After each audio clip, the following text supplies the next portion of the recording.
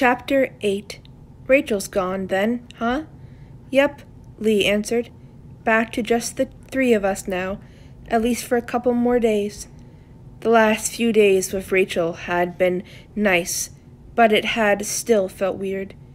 I hadn't been able to shake the feeling things weren't quite right, and I knew it wasn't fair to not want her around when I was a huge part of why things were different. I knew I'd spent less time with Lee and more with Noah, and that, really, it was a good thing Rachel had been here to help distract from that fact.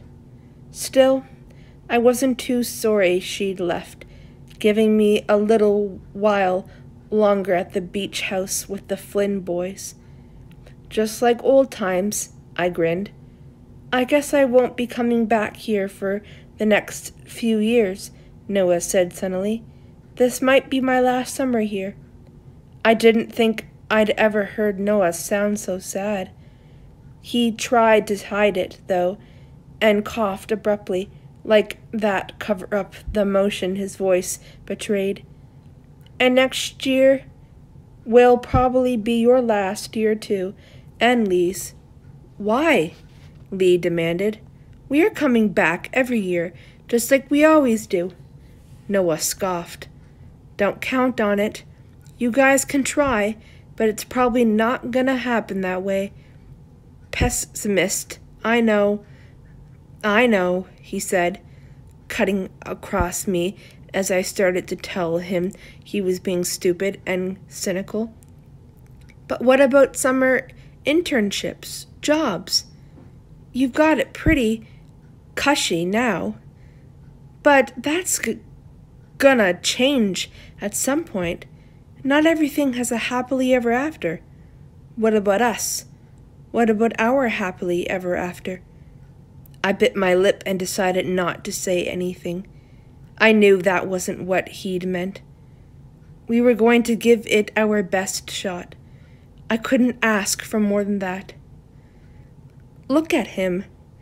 Lee nudged my arm and pointed to Noah, thinking he's all wise now that he's old enough to go to college, thinking he's got it all figured out.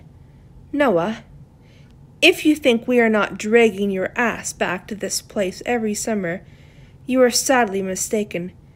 Summer's all about coming here.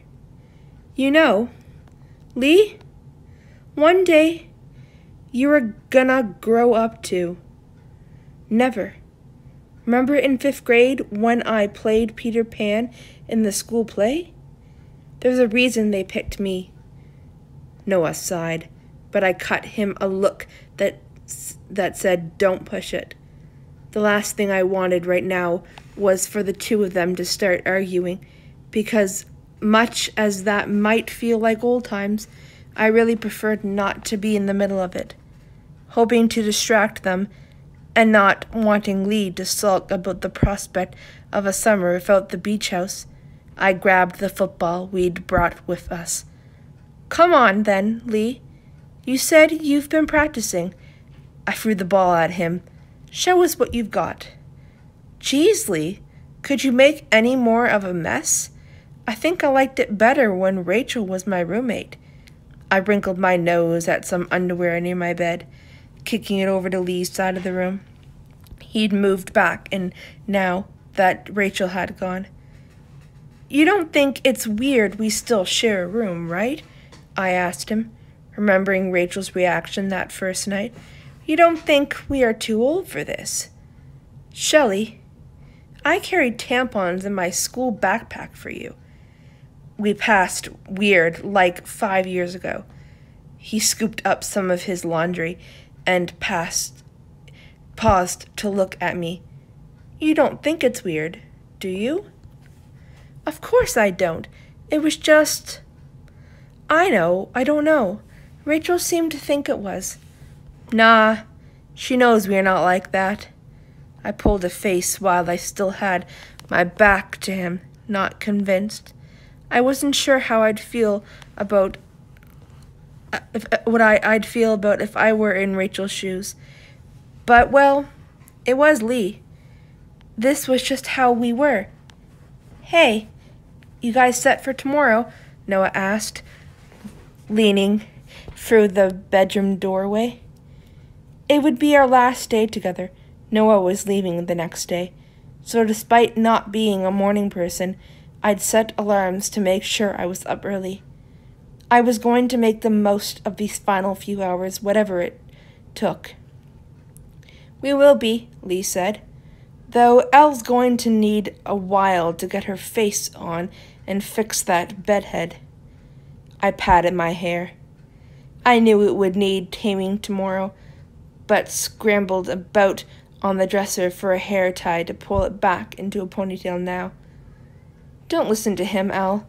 You look great. I blew Noah a kiss. You don't look so bad yourself. Lee made an exaggerated gagging sound. If you two are done flirting, can we say good night? I giggled and threw the t shirt and sock of his I was still holding at his head. The sock caught on his ear until he shook it off like a dog. Noah chuckled too, and that wistful part of me, the part that was forever a hopeless romantic, wished I could take a snapshot of the moment, all three of us laughing and smiling at the beach house together, like always, and seamlessly without a care in the world. It was a perfect moment in time but that was all it was a moment.